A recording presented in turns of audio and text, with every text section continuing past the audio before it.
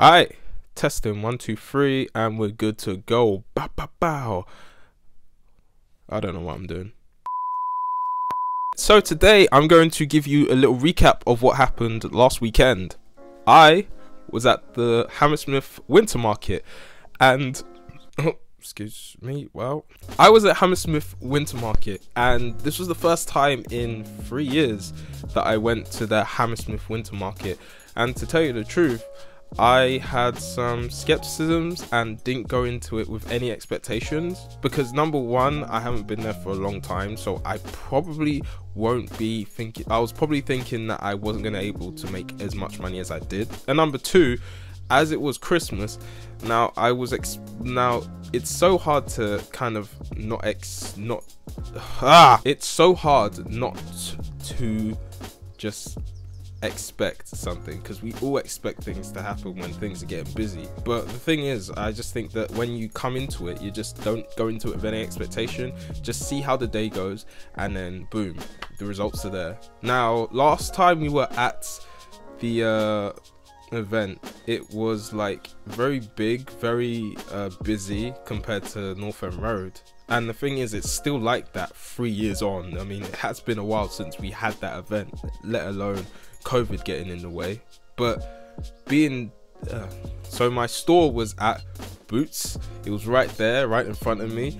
And the problem is, is that I had a little road or little road hole or something like that that just stunk up the place and made the customers leave. Though, for surprisingly, I managed to get a good amount of sales despite the annoying smell that I had to deal with. Let alone had to go through some stuff that I had to basically deal with in terms of people behind me in terms of trying to get a better sound for myself because no one could hear me because these people were playing at the back of my uh, at the back of my stall.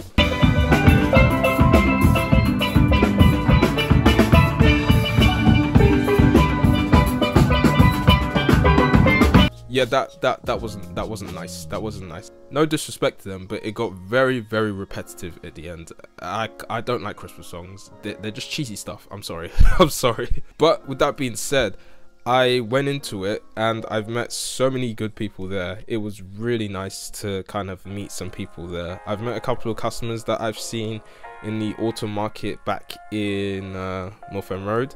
And I also saw some newer people there that discovered my work. And I tried to sell some prints as well because there were some prints that I was doing for like £25. And they're still on the website if you want to check it out. So what happened after that was that uh, I had a pretty fun experience. I can't lie, it was pretty fun. Instead, I was making so much more sales than I did last time. I was so happy that people were interested in some of the newer cards that I designed for Christmas. And now that I've been through all of that, it just makes me want to do a bit more, but at the same time, do something different in terms of just trying to do the same old greeting cards, paintings, prints. But I came through and I came up with some ideas along the way because I never stopped working. So the thing is, I decided to just go for what I think would be beneficial for some, and that in itself made me realize so if they only like Christmas cards, then they surely should be able to make something for, like, let's say, t shirts, jumpers, or like caps, even, or even just like some cups or something like that. I mean, I have to order so many cups, but that's that's a bit like oh. And then after that it also makes me want to realize that you know what, i'm gonna build starving artist very soon. And i really want to try and make that into like a market sell when i get the chance. So then that way it kind of breaks the boundaries for people like myself to do like more black main characters and X, Y, and Z. But I don't want to be too preachy about it, so I'm gonna have to try and just do it all all action rather than talking the talk. So with that being said, I kind of wanted to show you some results on the last time we sold the uh, greeting cards. We made 30 sales.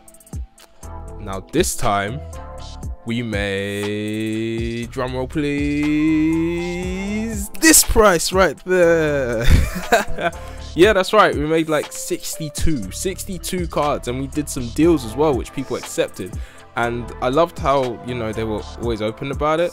But to tell you the truth, I was just like, wow, this this came out of nowhere, and it wowed me how many people really liked some of the designs that I did for them. But yeah, I really enjoyed it. It was it was fun. It was it was cool. It was really cool. Now we've got to look forward to um the summer, which is only about uh what seven months or six months, something like that. Yeah, seven months. But yeah. Uh, let me know what you guys feel about this uh, video. I might do more of some of this stuff soon. And I've also got some uh, designs in the way that I want to create and kind of make.